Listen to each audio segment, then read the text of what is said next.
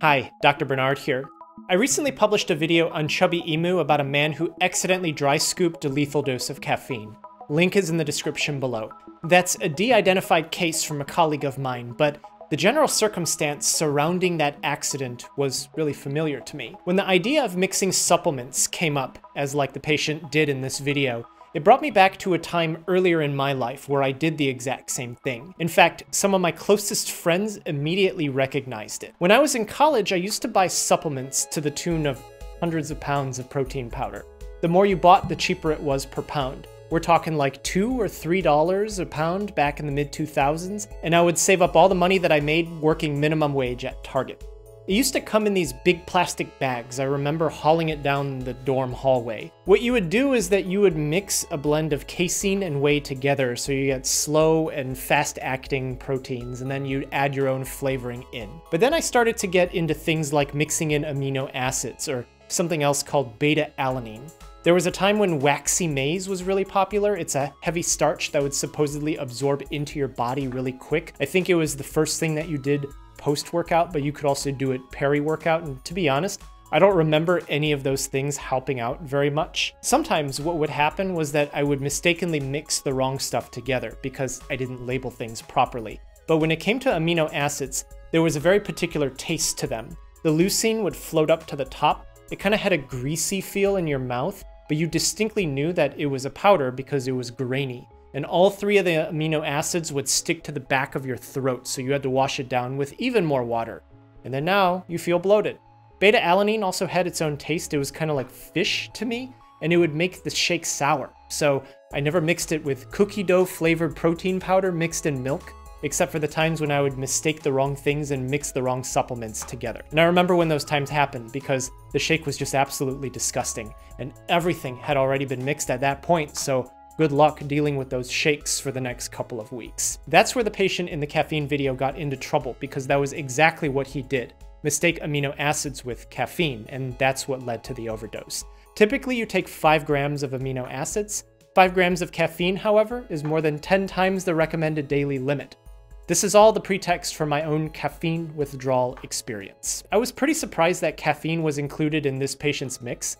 However he wanted to do it, in general, maybe it could pass for a pre-workout, but even then, caffeine is a stimulant. It's not a great one when it comes to giving you a pump at the gym, and really it's included in so many regular drinks that you really shouldn't need to add it to anything to get the desired effect from it because you're gonna get it no matter what. But exactly how do you get that effect? Caffeine is a methylxanthine. It's a stimulant natural product derived from plants. So when we look at the chemical structure, it resembles adenosine. For our purposes here, adenosine is an inhibitory neurotransmitter in the brain. Some natural chemicals are heavily conserved, so adenosine triphosphate. Adenosine is also used in RNA. The ubiquity of it in humans and other mammals means that when a plant makes something that's similar in shape, it's probably going to have activity. All of this gives us some context as to what we're working with here, and also how it can even cause a withdrawal effect in the first place, which at one point in time needed confirmation to even exist in the first place. So if we know that caffeine is a stimulant, and it resembles adenosine, which is an inhibitory neurotransmitter, then we can deduce that caffeine would somehow negate the effect of adenosine, that is, caffeine blocks neuroinhibition, thereby causing the opposite stimulation. When allowed to work properly, adenosine slows the heart rate down. You want that in times when a patient's heart is beating so fast and so erratically that it's not contracting in a way that moves blood. If caffeine is there to block adenosine, meaning that caffeine won't allow adenosine to slow down the heart, then the result is that the heart beats faster. Increasing adenosine also increases the person's need to sleep. So blocking adenosine via caffeine would disturb one's sleep cycle. And we know when it comes to caffeine consumption, that topic in particular is widely documented.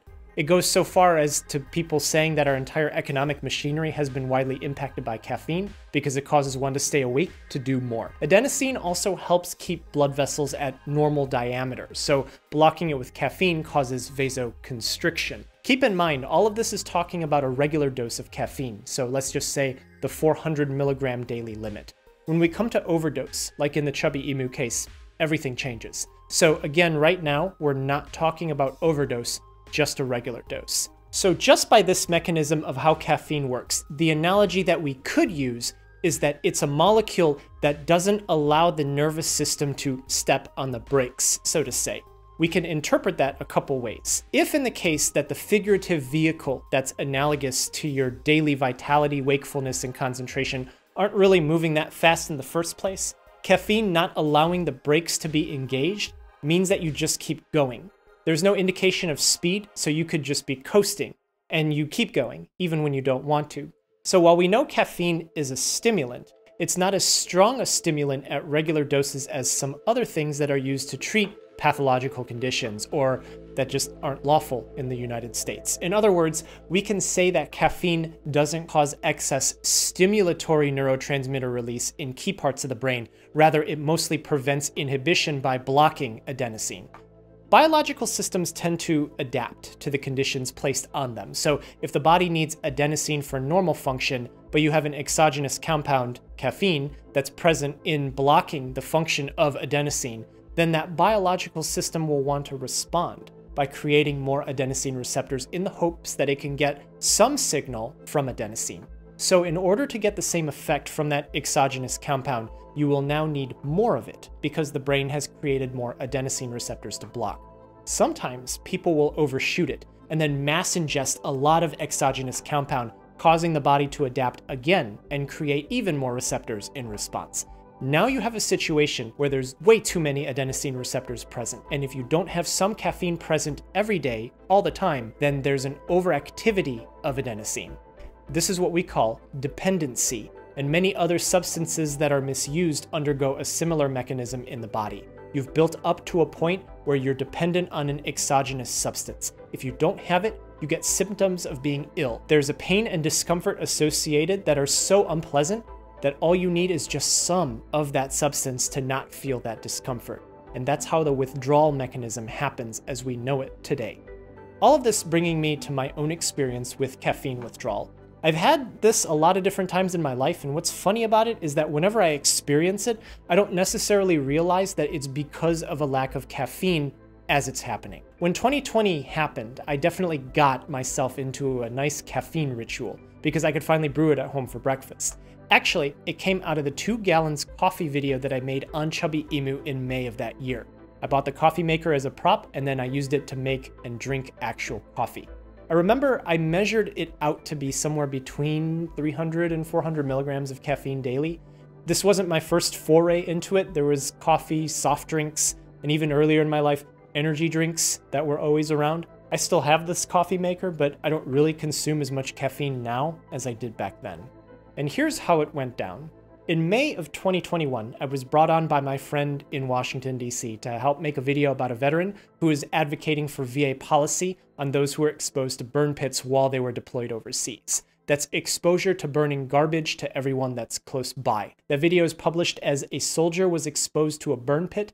This is what happened to her organs on Chubbyemu. What was really cool about that project was that a local rental house called DC Camera agreed to let us borrow cinema lenses for that weekend for this particular shoot, as well as do some lens tests. So on the day of, we got to location, rest in peace. The patient who was covered in that video passed away almost a year after that shoot. We got there mid morning around like 10 a.m. I hadn't had any coffee or caffeine, but I brought plenty of water. The shoot lasted to around 8 p.m., and basically, anytime I've been consuming caffeine regularly, I don't drink anything containing it after around 2 p.m. So, when we finished the shoot, no caffeine could be consumed that day, and the next day, I could feel it. It started with a hangover like headache the moment that I got up. I was tasked with returning the lenses since my friend was the one who helped us get them in the first place. On the drive there, the headache kept getting worse and worse, it really was like a hangover, or the kind of headache that I get when I don't drink enough water. Before arriving to DC Camera, full circle, I had to stop at a Target that was close by because I was gonna puke. A lot of times in my videos, I'll talk about somebody having a tinge in their cheek and a sour taste rushes into their mouth with saliva flooding under their tongue as they empty their stomach in a way like never before. And that was exactly what was happening to me. I remember standing at the sink in a Target gripping the sides of the counter, and I can feel my guts wrangling in a way that it normally doesn't do. It felt like there was an earthquake in my abdomen, and I just remembered like the absolute struggle to just not empty my stomach into the toilet completely. All during this time, there were shoppers who were going in and out of the bathroom looking at me like, what the heck is this guy doing? All this time, I had no idea that this was caffeine withdrawal. I hadn't had that kind of headache for a long time because I don't really drink liquor, and because stay at home was such a thing in the year prior, I had always had adequate water intake. What I didn't have was the coffee that I would normally drink for two mornings in a row at that point. The symptoms were severe headache that kept getting worse as the morning continued, that ended in severe nausea. The reason how I knew that it was caffeine withdrawal was because at that Target, I bought two bottles of Mountain Dew and I chugged them, and within an hour, basically everything went away. Chugging them in the first place was pretty terrible because anyone who's ever had that kind of hangover headache knows that when you put anything into your stomach during that time, you feel like it's gonna come right back out. Given the pretext, we have a pretty decent idea of why this happened. I did have caffeine tolerance that came from that one pot of coffee that I would drink every day. You suddenly take it away and you don't have it for two days. In my situation, it was to record a video. Other reasons can vary. And now all those extra adenosine receptors that were created in response to this inhibition are now being stimulated and activated by adenosine in the absence of caffeine because the body doesn't make caffeine naturally. Do you remember that point that caffeine causes vasoconstriction? Well, if caffeine isn't there to do that constricting, then it means that way more blood is flowing into the brain than what one would be normally used to. Actually, if there's more adenosine than normal, it also means hypothetically it's simply just more blood than regular function flowing in. There could have also been another mechanism of the vagus nerve and how neurotransmitters there, including adenosine, mediate emesis. That's what would have caused actual vomiting that I fought so hard to keep back and ultimately was successful in doing so. But that sour taste and the flood of saliva under my tongue meant that there was a signal being conducted there. You just don't get that much saliva there in any circumstance. And with the administration of caffeine, which pharmacokinetically we know is bioavailable and quickly absorbed from the gut, the normal adenosine blockage that my body was used to kicked in. And I'm guessing that there wasn't such a flood of blood into my brain at that point, and the symptoms then quickly alleviated and that's how it happened for me. There's other reports of caffeine withdrawal describing anxiety, insomnia, mood changes. I didn't have any of that, but for each person, one may have some of those symptoms, all of those symptoms, or maybe just something completely different. Now, if you're wondering what you do to not have caffeine withdrawal in the first place, you have to get to a point where you're not consuming any caffeine daily. And you do that by slowly weaning off of it. Like I said, while it builds a dependency and causes withdrawal, it's not really as addictive like other stimulants because it's really just blocking inhibition rather than amplifying stimulation at normal amounts. So suppose you drink six cans of caffeinated soft drink, move down to five for a couple days, then to four. By then, you might feel like a low grade headache in the morning, maybe feel kind of groggy throughout the day, then move down to three, then to two, and then it's up to you if you want to keep going. In my life, having some caffeine is fine too much and I can't sleep well, which then causes me to function kind of weird during the day. Too much caffeine mostly affects me not being able to speak coherently. There's a lot of breaks in speech, a lot of ums and ahs, and I can't really seem to say what I want to say in regular conversation. And all that results from caffeine causing me to not sleep that well. So it's worth checking out a life that has a little less caffeine if you'd like. Thanks so much for watching. Take care of yourself and be well.